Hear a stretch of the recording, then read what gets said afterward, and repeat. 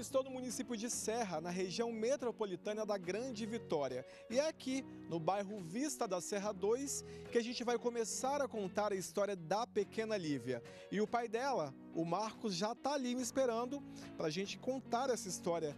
Olá, Marcos, tudo bem? Bom, seja bem-vindo. E aí, vamos conversar? A Lívia nasceu com uma má formação na coluna, o que fez com que os pais, Marcos e Olímpia, buscassem cedo por ajuda para o tratamento da filha.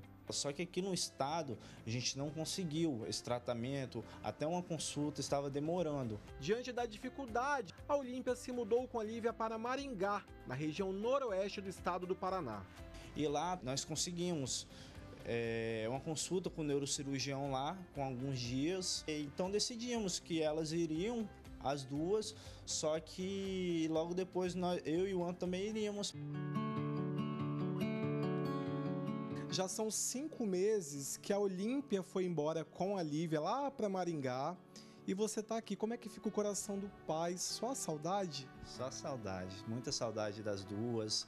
É, a Lívia faz muito falta, que era o meu, como eu posso dizer, é meu, meu dengo, né?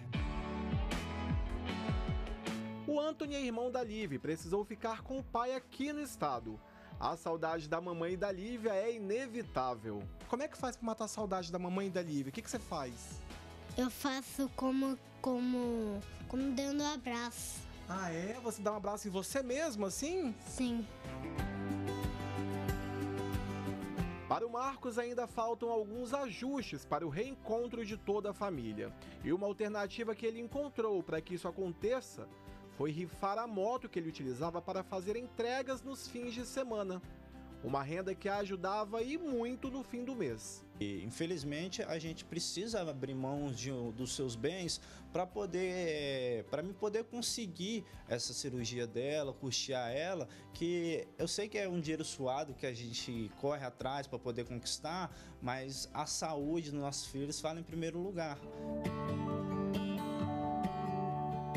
Quando eu pergunto sobre o atual estado de saúde da Lívia, o pai se sente feliz ao saber que a pequena está longe, mas recebendo todo o tratamento necessário. O desenvolvimento dela está um pouco melhor através das fisioterapia que ela vem fazendo, da natação. Isso ajudou ela bastante a desenvolver, que antes disso ela não, não conseguia andar.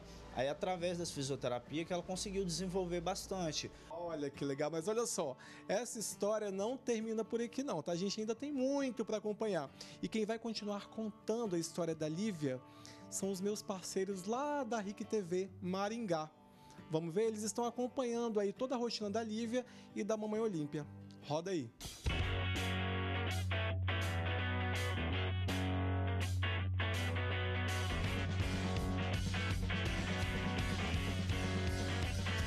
Oi Flávio, agora que você conversou com o Marcos aí no Espírito Santo, eu vou me encontrar com a Olímpia e a pequena Lívia aqui em Maringá, no estado do Paraná, para a gente poder continuar contando essa história.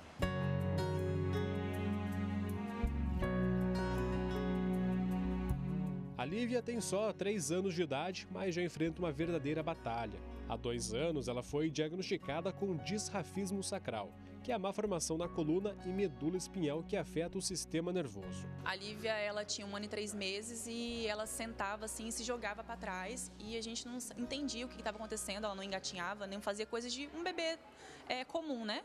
Olhando para ela, nem dá para dizer que sofre da má formação na coluna e medula. Os sintomas vão se agravando com o passar dos anos, mas ela já apresenta alguns deles. Eu descobri alguns comportamentos dela que eu filmei que ela fica fazendo movimentos involuntários. Identificamos uma epilepsia oculta, que é uma epilepsia atípica.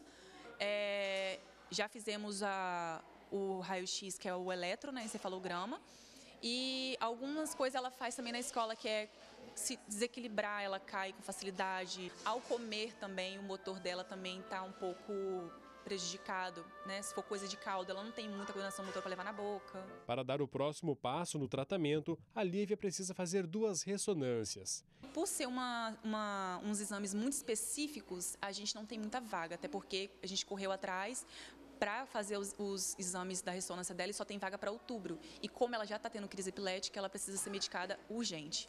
E aí a gente faz vaquinha, faz um monte de coisa para conseguir pagar essas ressonâncias. Etapa que é indispensável para poder agendar a cirurgia. Nós estamos preparando a Lívia para que toda a musculatura dela não perca, não tenha grandes percas após a operação. A cirurgia será feita pelo SUS, mas os exames e tratamento no pré e pós-operatório têm um custo. Uns 10 mil seria o suficiente para nos ajudar em questão de pagar as ressonâncias, né? Tem um aluguel também, que assim, por mais que eu faça os freelances, não chega a bater o valor que é, a gente tem custos fixos aqui, né?